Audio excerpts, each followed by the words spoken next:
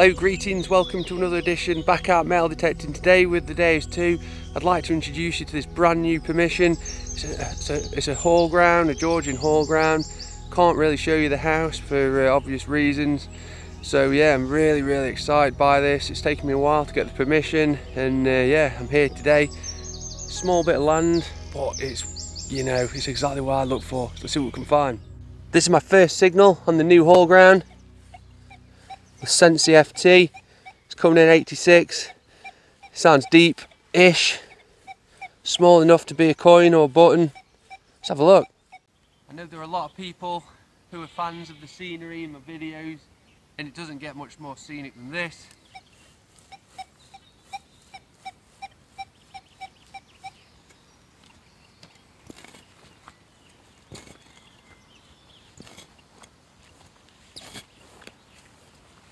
Really is a fabulous location.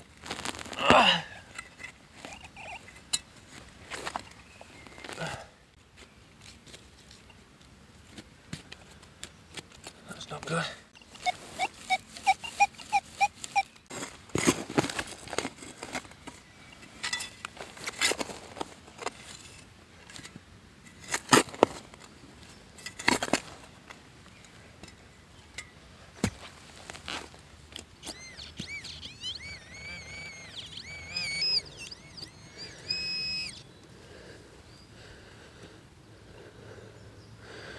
God. It's one of them, a wing nut.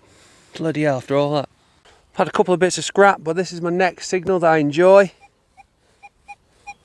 88. Faint, high pitched, small. It's got to be a coin on it. Like that. Sounds sweet.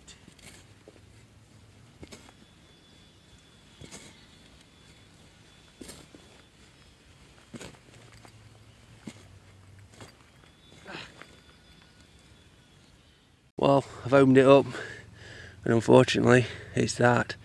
It's a bit of copper scrap. Never mind.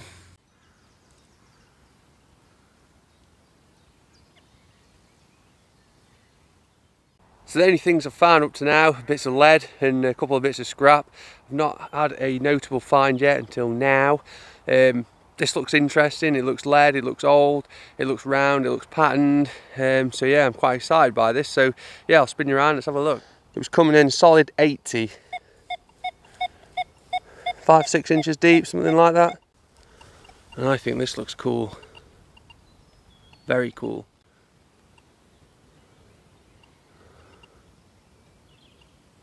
Perfectly round. Sure there's a pattern on there. Oh, maybe not, I don't know. I'm going to give this a clean up and I'm going to come back to you. Well, I've cleaned her up and as you can see I was wrong. There's nothing on that at all. It's just a round piece of lead with a hole in the middle. Probably Victorian if that, because it's too round. Yeah, if anyone might know what that could have been, drop us a comment.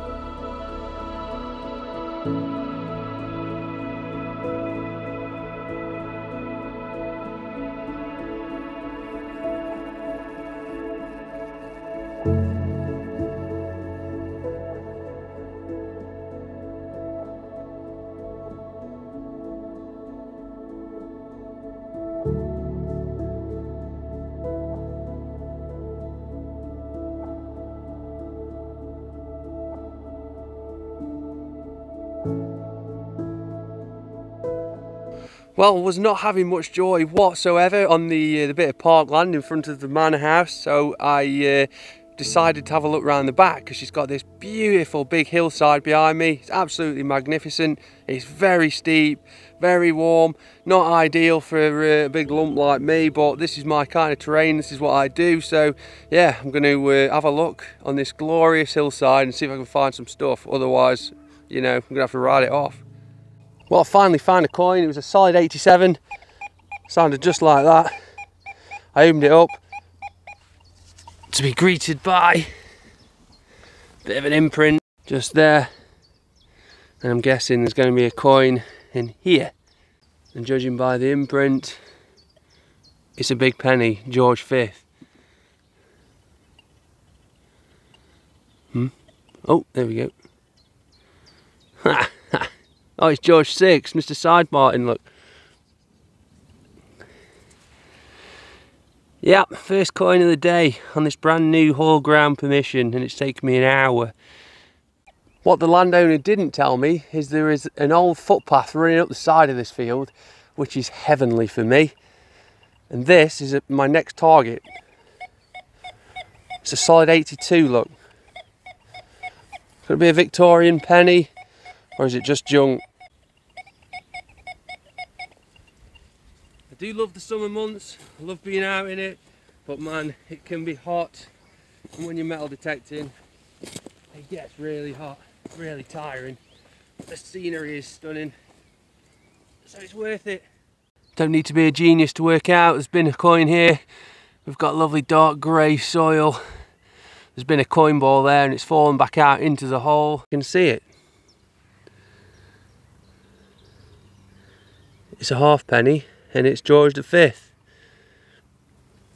So that's two coins in, in only a few minutes since changing fields. Yep, cool. Couple of pre-decimal. Off the footpath, I've now had coin number three inside only a few minutes. And it's another George V half penny.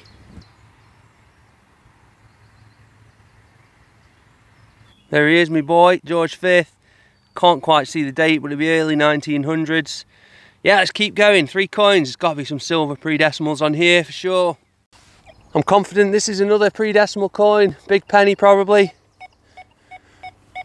Big fat solid 82. It's not deep. It's not big. Just the right size to be a coin that. Let's get into it. Let's have a look.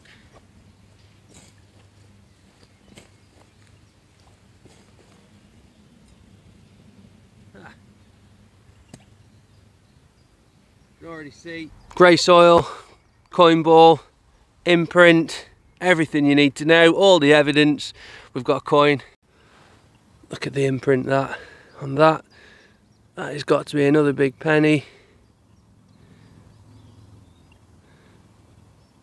We've got a Victoria, Queen Victoria one this time, of nice veil head.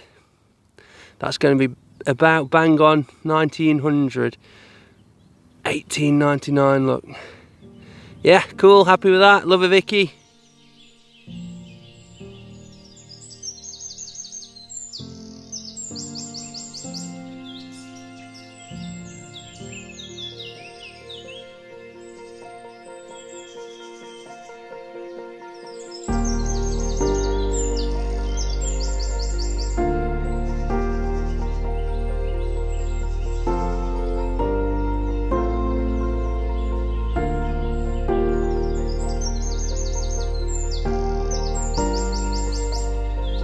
Well, while I was filming a bit of B-roll, picked up one there and one here.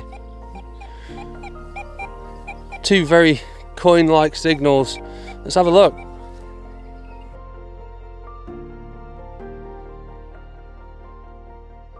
Telling you right now, this path is going to be littered, and I mean littered with coins. I've dug them both out. it's been a coin ball there, We've got the dark grey soil. And we've got yet another big penny. I'm to clean these up after and show you. This is the second one. Again, you can see where the coin ball was. Dark grey soil. And we've got another one. Big penny, look.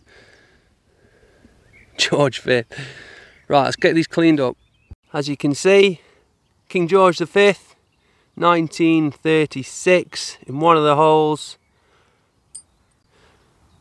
And the second one was Mr Baldy, Edward the 7th 1908 I'm getting ready now for that high-pitched silver sweet tone. This is signal number three banging 87 got to be another coin on it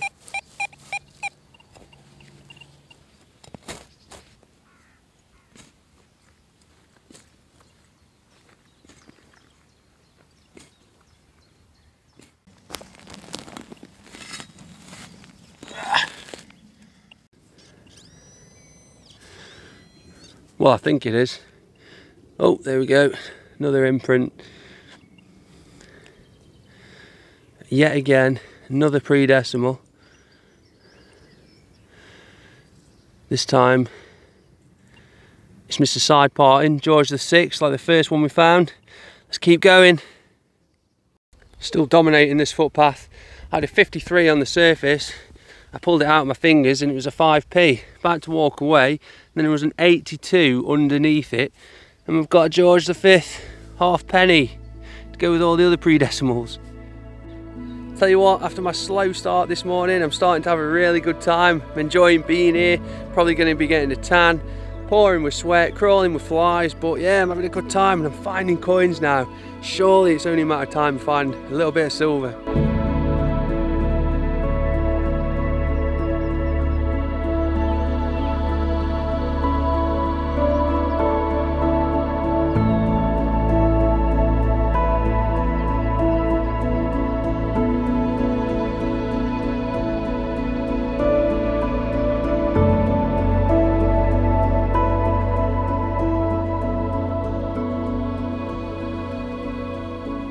Next up, solid 78.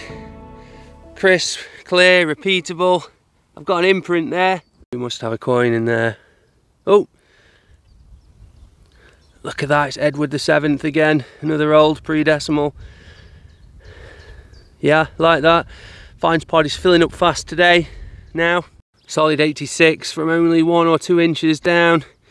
And we've got a brown pound. I'll be going to the bank with all the others I've got. One bam, thank you ma'am. This is probably the best signal I've had so far. 89.90. To me, it'd be nice if it was silver, but I reckon that's going to be a threepenny bit or an Elizabeth II half penny. But let's go with threepenny bit. Getting a little bit cloudy. I'm hoping the sun will disappear and it will cool down and I'll stop sweating.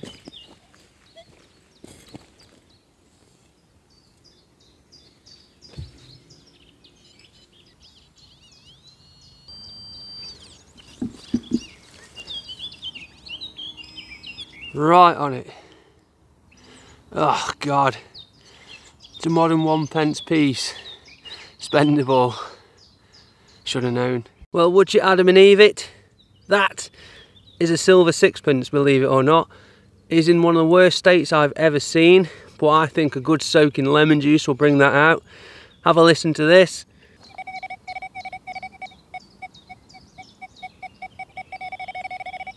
He was coming in a solid 83. I'm nearly at the top of the path. Very, very, very hungry here. I'm going to show you this. Full length of the pinpointer. Have a look at this George third half penny.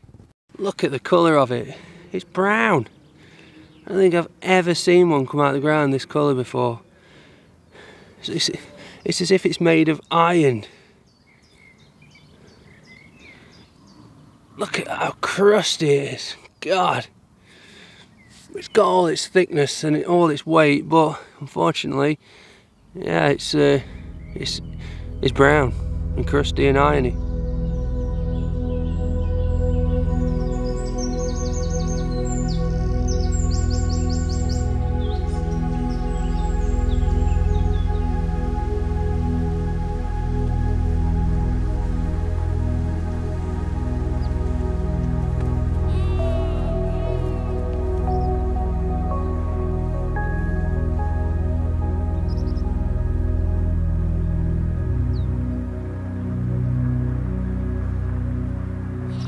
Well, I've not filmed anything for about half an hour now.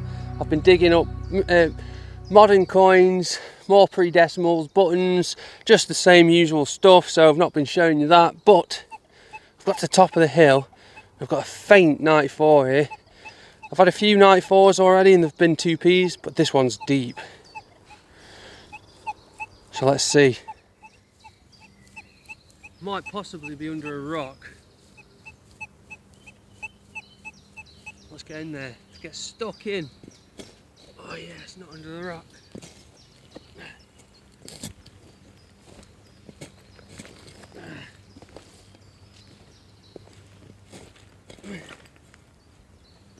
Ah, nearly.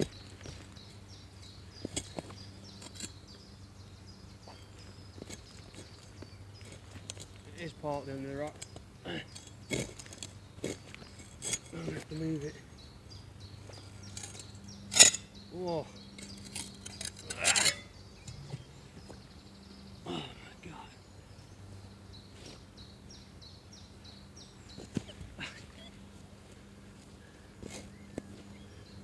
I will put the rock back afterwards. Ooh. Got a big imprint there. Oh. Is that too big to be a penny? I'm not sure. It's going to be in here somewhere.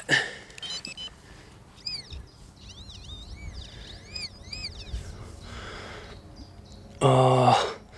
oh. Oh my god. Oh my god. Oh my god. Oh my god. I've got a George III half crown here. Oh my god, and it's in absolutely brilliant condition. Oh, the weight of that is unreal. Oh my god. I've not hit it with my spade either. Look at the colour of it. Oh my god, I'm absolutely buzzing. I'm gonna go and clean this in that little stream thing I found earlier on. But look at that. Huge silver, 1819. That is incredible. There we go. Into the water we go with the big silver George III half crown. Oh my god, it's so heavy. I'll tell you what, that water is cold. Okay, there he is, look, he's coming through.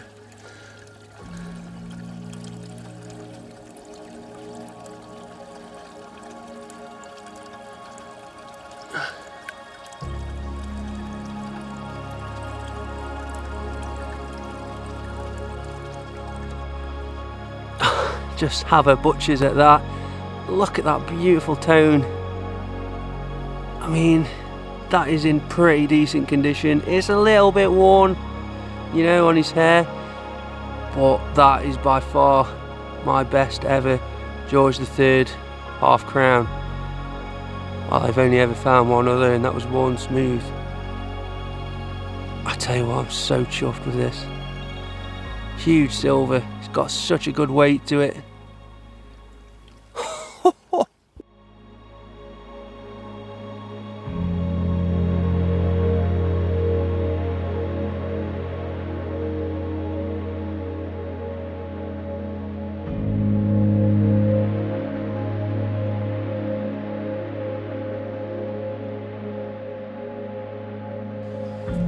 Tell you what, I can pretty much guarantee that half crown will have come from somebody the who lived at the hall ground a couple hundred years ago, because that, you know, poor people don't carry those things around. That is that is a, a wealthy person's coin, and I'm right chuffed. I'm right at the top of the hill here. I've got a glorious view looking down. Can't show you, but uh, yeah, I'm buzzing now. Absolutely buzzing. Big old silver. We're gonna have a look at this one. Look at that. 93. It's clean, it's faint, 94, 95, it's deep. Oh yeah, that could be something good. Of course it could be a copper coin, but it could be silver and it could be old. Right in the middle of the footpath. Oh, let's get in there. Of course it could be a two pence piece, but it's a bit deeper than the modern stuff I've been finding. You just never know in this hobby.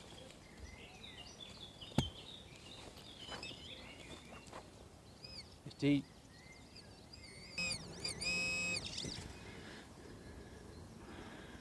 Oh, ah, you get.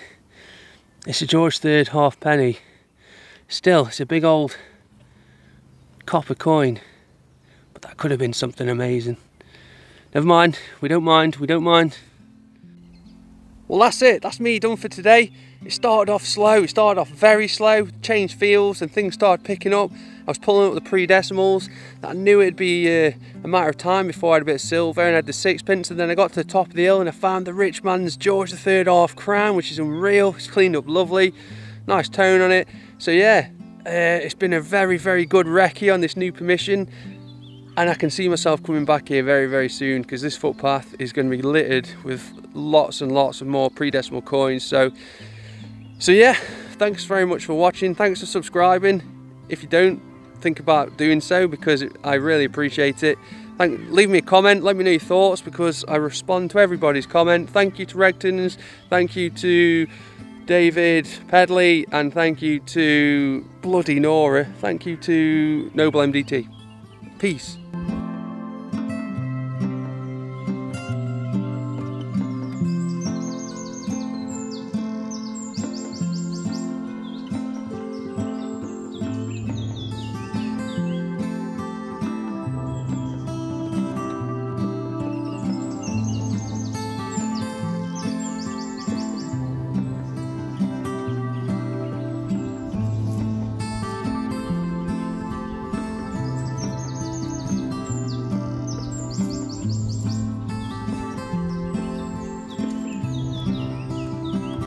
Egg sarnies with a bit of salt and pepper. Can't beat it.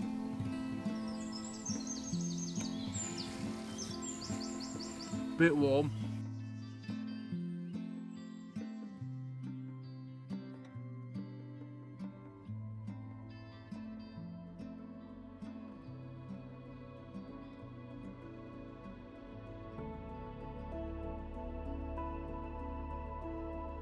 Silver sixpence was an absolute nightmare to clean.